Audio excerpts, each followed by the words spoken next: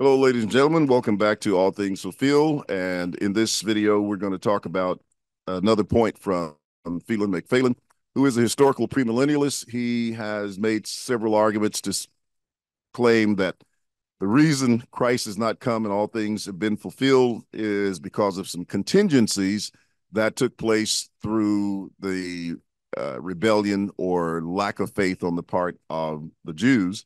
And one of the arguments that he makes is on Matthew chapter 24 and verse 34. Uh, in this particular argument, he says that um, this generation will not pass away does not mean that they would not pass away by extinction, as all other generations passed away. Rather, he says it means that they passed away because they lost their religious headship.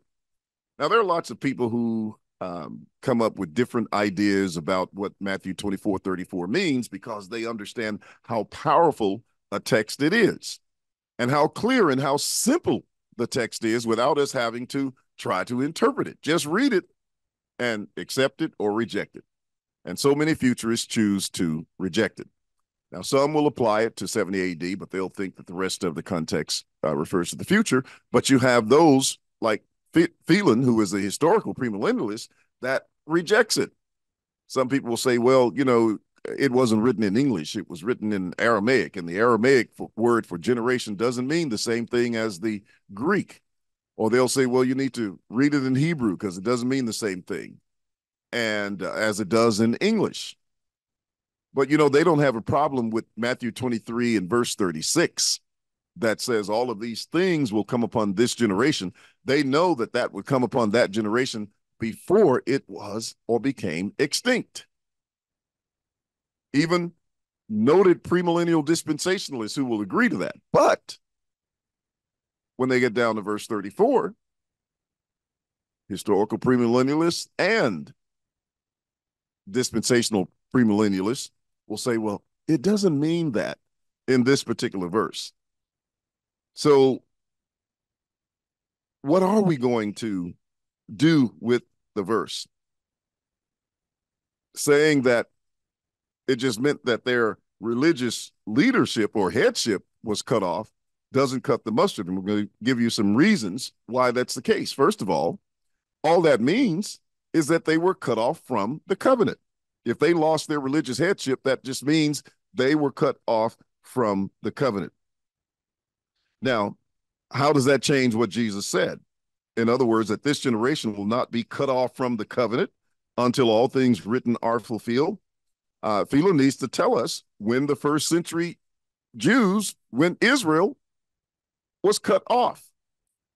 I can give you a couple of passages that would uh, tell us when that occurred. Let's take a look, for example, at this text, Matthew 8, 11 and 12. And I say to you, that many will come from east and west and sit down with Abraham, Isaac, and Jacob in the kingdom of heaven, but the sons of the kingdom will be cast out into outer darkness. There will be weeping and gnashing of teeth. Well, there's a cutting away, or not just of their religious headship, but of all those who rebelled against Christ. Isn't that also precisely what Moses predicted for their last days? In Acts, the third chapter. Starting in verse 22, notice what Peter said. For Moses truly said to the fathers, The Lord your God will raise up for you a prophet like me from your brethren. Now, wait a minute. Moses said that God was going to raise up a prophet for Israel from among their brethren who would be like him, but he said, Him shall you hear in all things, whatever he says to you. Now, who was that prophet? None other than Jesus Christ. When did that occur? In the first century. Now, watch the next statement. And it shall be that every soul who will not hear that prophet shall be utterly destroyed from among the people. So he's telling them this would take place in that generation. How do we know that? Because in verse 21, well, even before 21, let's read verse 24. Yes, and all the prophets from Samuel and those who follow as many as have spoken have also foretold these days. Those were the days of Jesus and his apostles. And hence, verse 21 whom heaven must receive until the times of restoration of all things which God has spoken by the mouth of all his holy prophets since the age began. That's the same concept of Matthew 24 34. It's saying the heavens would receive Christ until the times of restoration of all things, which God spoke by the mouth of all his holy prophets since the age began. You see, we can understand one generation comes, another passes, but the earth abides forever from Ecclesiastes 1 4. We can understand Matthew 1 17.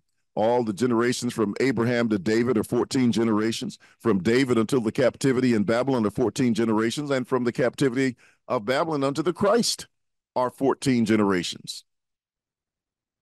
So what happened? One generation came, passed away. Another generation followed them, passed away. And another generation followed them, all the way down to Christ. But what do you think happened to the generation in Christ's day? It passed away as well, just like all of the previous ones. And hence, this is what Moses said. Let's take a look at First Peter chapter 1. First Peter 1, beginning at verse 10.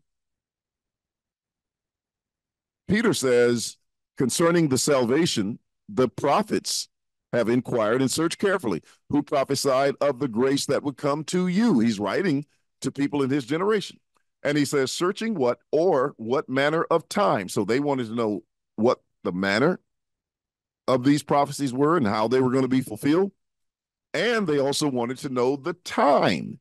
And Peter tells them in the verse, he says, the Spirit of Christ who was in them was indicating so, what manner and what manner of time was the Spirit of Christ? That means they were inspired by God not to lie. The Spirit of Christ who was in them was indicating when he testified beforehand what? The sufferings of Christ. Now, did that occur in the first century? Of course it did. We just pointed that out. And the glories that would follow.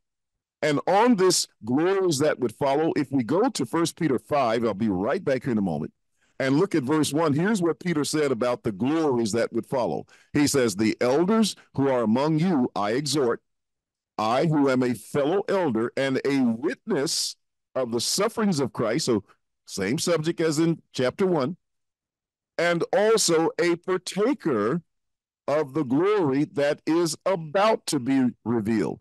The word mello is used here, and it means to be about to occur. So when you go back to First Peter chapter 1 and read verse uh, 11 that says, when he testified beforehand of the sufferings of Christ and the glories that would follow, we should read this the same way that we read First Peter 5 and verse 1 and the glories that were about to follow. What were they about to follow? The sufferings of Christ. Now let's see if the next verse bears that out. To them it was revealed, that is, to the prophets, it was revealed that not to themselves. Why? Because, you know, when the prophecies ended basically with Malachi, and we have this gap between uh, the period of Malachi for about 400 years. And then when John the Baptist comes on the scene, the scripture says the law and the prophets were until John. But since that time, the kingdom of heaven is preached, and every man presses into it.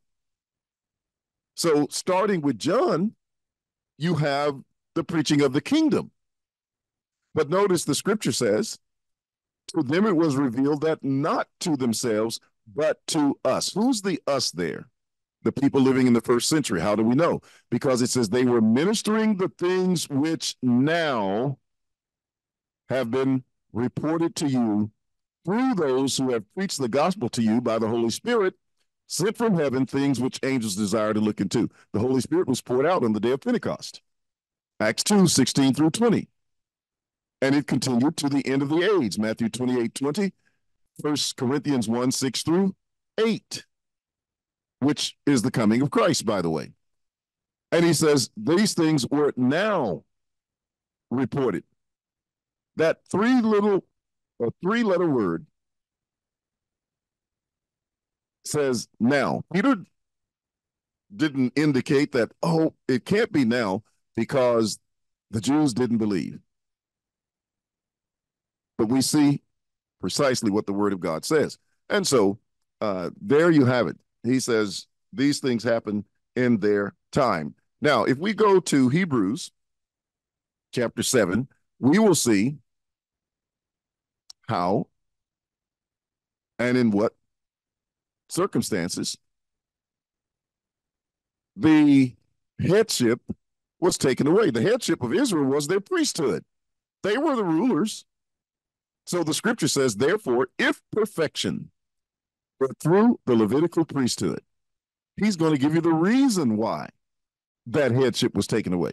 For under it, the people received the law. That means the people were sub- in subjection to the law through the priesthood. He says, What further need was there that another priest should rise according to the order of Melchizedek and not be called according to the order of Aaron? Why are you going to change the priesthood if everything is going to be the same as it always has been? But watch, for the priesthood being changed, why was it being changed? Because there was no perfection under it. No perfection under the Levitical priesthood. Doesn't matter how hard and how loud people stand on the street corners and shout. You got to obey the law in order to be saved. The scripture says there was no perfection under the old law. And perfection in First Peter 1 and verse 9 is defined as the salvation of the soul. So he says, if salvation of the soul were through the Levitical priesthood, for under it the people received the law, what further need was there that another priest should rise according to the order of Melchizedek and not be called according to the order of Aaron? For the priesthood being changed, why was it changed? Because there was no perfection. Of necessity, there is also a change of the law. Now, watch how the headship changed. He says, For he of whom these things are spoken belongs to another tribe from which no man is officiated at the altar. So it couldn't have been anything related to the old covenant because they all officiated at the altar. For it is evident that our Lord arose from Judah. Isn't that a different priesthood than the priesthood of Aaron? Of which tribe Moses spoke nothing concerning the priesthood. So there's the headship that has changed. That's God cutting off their headship, cutting off the Levitical priesthood, exchanging it for the priesthood of Judah. So, what does that mean? For on the one hand, there is an annulling, bringing to an end, dismantling of the former commandment because of its weakness and unprofitableness. For the law made what? Nothing perfect the law made nothing perfect. On the other hand, there is the bringing in of a better hope through which we draw nigh to God or near to God. So it was this hope through Jesus Christ that brought about the perfection. Hebrews 10 and verse 9 says, then he said, Behold, I have come to do your will, O God. He takes away the first that he may establish the second. So he took away the one that couldn't bring about perfection. When we look in Second Corinthians chapter 3, the verse is 7. He says, But if the ministry of death written and engraved on stones was glorious, so that the children of Israel could not look steadily at the face of Moses because of the glory of his countenance, which glory was passing away how will the ministry of the Spirit not be more glorious? Now, watch this. Verse 17 Now the Lord is the Spirit, and where the Spirit of the Lord is, there's liberty. So stop letting these people drag you back into bondage and place you under the law. Now, that's not what McPhalen does, but his doctrine does it because he's arguing that everything hasn't been fulfilled. And that's the consequence of that doctrine, even though it applies to others who make that their major